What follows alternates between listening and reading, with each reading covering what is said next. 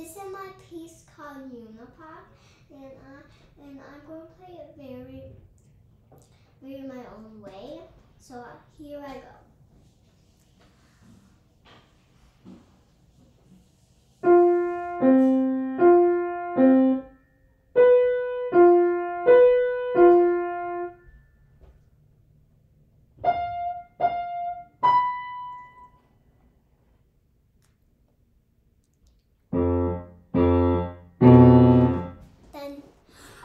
books, buy books, buy books.